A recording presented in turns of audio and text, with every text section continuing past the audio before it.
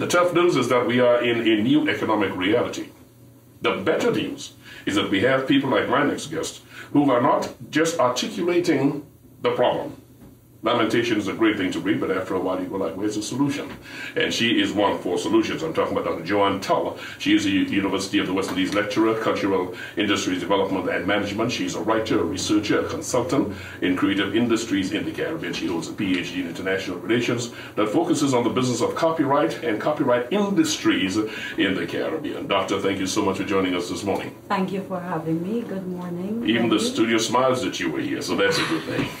Uh, we are talking about about uh, carnival and event tourism. I'm going to start by um, thanking you for your work. I spent an extended period of time uh, reading on a number of things you did along with uh, Mr. Nurse. Uh, uh, wonderful studies indeed. I want to uh, make very clear to our listeners: is tourism we're talking about? We're talking about the economics of carnival, and they are related. So let me see if we can get the components straight. What is event tourism?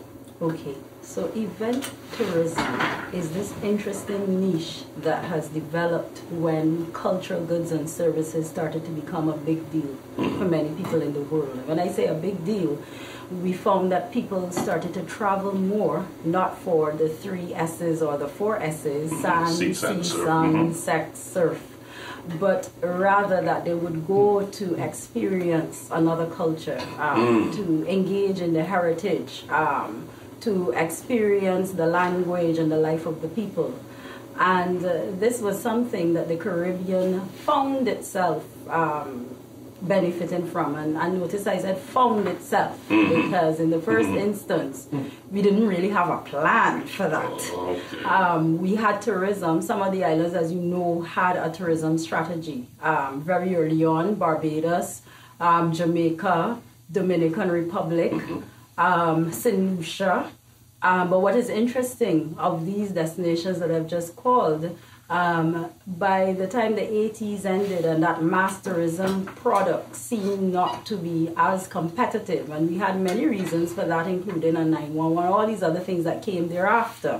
But even as the 80s came to a close, it, it was clear that, that that could not give you the edge if you wanted to really make a bang from your tourism buck. Mm-hmm. And so they began to look into the festivals and they, they saw how they could use these festivals to, to capitalize on, on what seemed to be a, a growing market mm-hmm. um, for other places like Paris and London and, and Canada. All of these places, as we know, you could call something as part of their culture that people would go there for mm-hmm. specifically.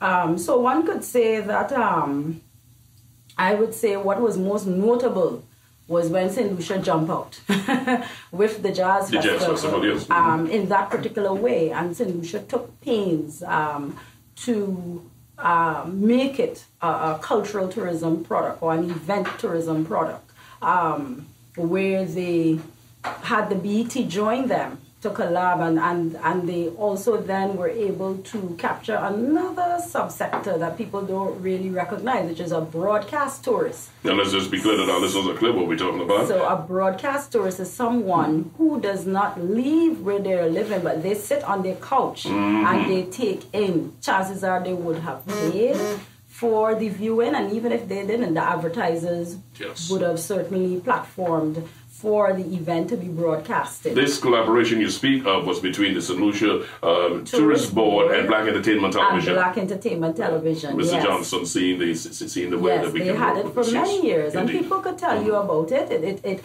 because you had BT in the Caribbean, so then people in the Caribbean as well had an opportunity to see St. Lucia Jazz Festival. So that that's one of the, um, I suppose one could say, the success stories of how the event tourism product then also became another kind of product. But as we know, Barbados is not slow on it, neither is Jamaica. Most of the islands in the Caribbean, in St. Kitts, you have um, the St. Kitts Music Festival. Um, so notice I did not say Trinidad and Tobago. No, we, we, we're holding that part for last. And, and there's another part that you raised there because the question of broadcast tourism, it is not just that broadcast tourism for folks who are sitting on the couch and will stay there. You are in fact inviting people. That's you right. are you were getting promotions. So even That's if a big um, conglomerate uh, come to you and say, "Here is ten dollars," uh, you don't measure the fact that you're getting ten dollars because it's not a case of what you see; it's what you will get eventually. And, That's and I right. mention this because when you talk about um, a lot of uh, a lot of what's happening in the region fell into the arms of people is because folks are looking for the immediate upfront when you speak in terms of getting things done, as against looking down the road. The man gives you ten dollars, you're gonna your ROI that ten dollars because Correct. what you what what you don't get immediately, you call it an investment, Yes. and eventually you're gonna get a return of that of about four hundred percent. So it's worth doing that. Indeed, indeed, and and you are quite correct in your assertion. Um, initially, when the, that collaboration uh, was brought into fruition, there were people who scoffed at it. I remember. They felt that Saint Lucia was selling their soul. That's right. And all other manners of things that we have often heard. Um, from Caribbean people about the festival platform, And that is something for us to learn from, that- yes. Yes, so so there was that. Um, I, I want to jump to Trinidad, but I know we will come back. Trinidad is very fortunate because the other examples that I called, they had to craft that project. That's right. Um, St. Lucia Jazz Festival was created to create a festival tourism or an event tourism product. It was placed in May. If you look at their, their tourism stats, you would see that May, June, I believe it's in May, has become a third season on their tourism calendar. So And hitherto, that was all the way down. May was a very low. Uh, Yes, it was very, Mhm. very, very low. If you look at Grenada, and my understanding, if I recall from my research, um, the late Maurice Bishop would have moved that carnival from the traditional time of, of um, um, the, the pre-Lenten period to August, the week after Barbados crop over, to be able to do same, and that has created another tourist season for Grenada during the period of August. Mm-hmm. Same thing for Barbados crop over. Trinidad and Tobago has been fortunate in the sense that Trinidad and Tobago has or always had this cultural phenomena that came out of the people that expressed or, or, or, or showcased the expressions of the people and for the most part continues to try to be true of the culture and, and the, sensibilities of its people. And I, I'm choosing my words very carefully because I know there are those, um, uh, I suppose one might say the purists who would say, dying carnival now. But that, that's another story. But for the most part, Well, it- it's, it's an evolutionary thing because I mean you can go all, the way- Yes. all the way back to the colonists and mocking the, col- the, That's right. the, the old uh, colonial That's masters right. coming all the way down. the fact right. is, evolution is a reality. That's right. That's change. right. So that as this thing evolved, Mm-hmm. it became attractive given the, the context that was going on in the globe, which was that one, people were traveling more and they Mm-hmm. wanted to see something different. But then the diaspora, the diaspora became a diaspora that had earning power or spending capacity. Mm-hmm. So the uh, so the diaspora and then by extension the diaspora's children who never saw where their parents came from but identified That's with right. it because of the diasporic carnivals decided well they, they want to come to the source you know yes they have a time in Notting Hill or they have a time in Labor Day or Miami or Caribana so they want to come home to this Trinidad and they have a tanti or a mommy or granny and they of course gonna come back to Trinidad and Tobago. And with those factors mm-hmm. those elements you saw a Trinidad and Tobago carnival emerging not just being a cultural expression but taking on the, the, the formation of, of an industry. In understanding this, you know, because, and, and you're quite right, you look at Notting Hill, you look at Miami, you look at um, you- uh, Dade County, you look in New York City,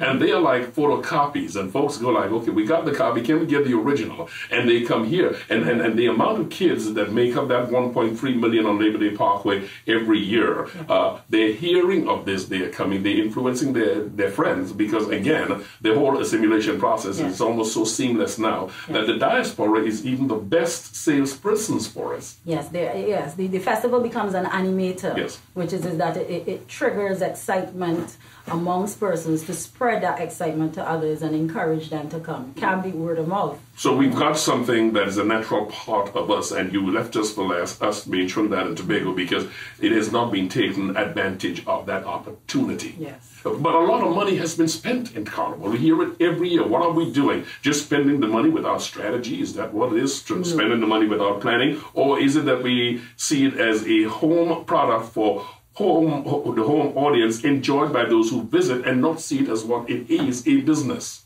or well, what it can be. well let's take it from the back and come come to your first point. Um, the idea of it being a business is not a shared view national. Mm-hmm. i think that's something that we have to recognize and i think it's something that that has to be engaged with if we are serious about benefiting from it in the way that we believe we can and, and what we think it offers. So that's mm-hmm. the first thing. That does not mean to say that business does not go on. That also does not mean to say that business should be the end all and be all. And I always preface anything I have to say about the business of Carnival with that. Mm-hmm. Because there was a time, at a very recent time, where persons who would be engaged in the industry part of the Carnival was pushing the business agenda so much, one could have easily thought that creativity had to take a backseat to the business component. And I, I wish to tell the listeners that anytime you're dealing with the business of culture, you cannot leave out creativity. If the creativity is not there, you are not likely to generate a sustainable industry. Is it a fair extrapolation from what you just said to look at what is going on where folks say now it's um, almost the dental floss costumes is against real costumes? Is that a, a, a subset, one of the consequences of that over commercialization you were talking about that was recently attempted? Well, I would rather say it's an overexposure of that aspect of the commercialization. Mm. And I and I say that because the regional carnivals exist the traditional mass forms are still there mm-hmm. and they are supported. However, I think we are all aware that when we look into our dailies as the carnival approaches and during the period and thereafter, mm-hmm. there is a focus on the dental floss, as you call it. Mm-hmm. And I suppose it has to do with what the dental floss um, implies, you know, um, anything to do with sex or sexuality you know, is always a, a showstopper, so to speak, or at least that is the perception. Um, so there is this idea that you need to present this, these beautiful bevy of ladies, and Trinidad and Tobago is this carnival where this is what you will get when you come and what have you. So there's that. But if it were that we put things in place that would also allow for the fair exposure of what also exists, which, mm. which falls more on the traditional side, um, not not necessarily a beads and bikini, but but carnival and masquerade that is crafted and honed here, you are likely to see some of that mind mind frame, that that that you, that mindset shifting. Mm-hmm. Likely, and I'm saying likely because if you look at the kiddies carnival, which is well supported, that is where you see a lot of the craft and the creativity yes. and what have you and those children have parents. Yeah, the intention is not to, in, in, in, in, that setting, the intention is not to exhibit the body, it is in fact to exhibit the craft. And it's, the, the, the, irony, the irony in this is that uh, Carnavalia, I think it is, um, it was actually the celebration of flesh. Mm-hmm. So on the one hand, you have it arriving from that, and that's why it's so important that on three occasions you have used, you either evolve or you tweak or you look at the new uh, expression. Yes, because if you took this in the literal sense, uh, what they're doing with the floss is exactly what Carnavalia is all about the, exhibition of the flesh. Right. So the creativity we see it mm-hmm. in the Kiddies Carnival. Right. right. But but again, no. If I may throwing another food for thought, that even where the dental floss is, is, is concerned, and I, am just quoting you. Um, it saves me having to give a long explanation. Yes. Folks can get yes. the graphic on that yes. really easy. One can be creative there. Mm one can be creative there. It, it, it, is, it is about whether or not you just simply want to offer dental floss. And right. I suppose if we are very fair and honest about what we understand by event industry, one of the platforms of an event industry is experience. Mm. Is experience. There are some colleagues who write on the experience economy. I often tell my students, we are in the feel good business we are learning about how we make people feel good, but mm-hmm. we want to do it in a sustainable manner.